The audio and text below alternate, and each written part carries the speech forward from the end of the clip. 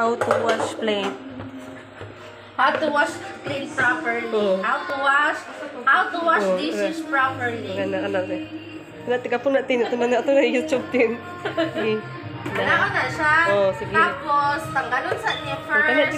gupo mo din na You itag-video, must no? remove. Ah, naman dyan dapat ang mga YouTuber na tag-video. Niya ikaw, mag Editing na nila, Sige, sige, sige. gina-edit. Sige. First, mag-English na para tan sa mga Amerikano. Oo. You must remove that chara. Sige, sige, sige, sige. Gagawa natin. Sige, sige. Ako na equal sa YouTube. Sige na. Turn the kitchen. Gawa sa English. Tapos, kuskuson. Sige. Tapos, kis-kis. Yan naman siya, kat- Hindi sa Tagalog, sa atin na Tagalog. Wapo man gud jud kung English. English ay, ay ga kay makita ko ta ng mga Amerikano makasabot kung mag-search pud sila. Sige na, English makita daw. sa tanan. Sige na, English na. English na.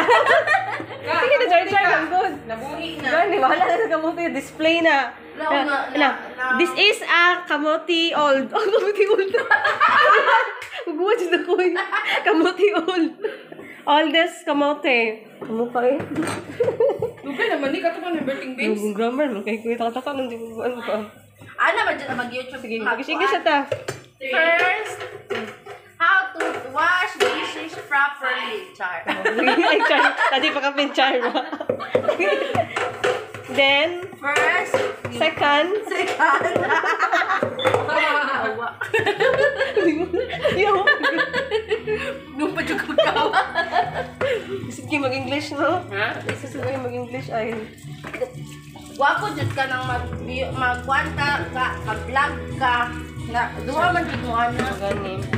Ako na matatukag mga, mga, mga, ano, mga laglaag. laglaag ba na.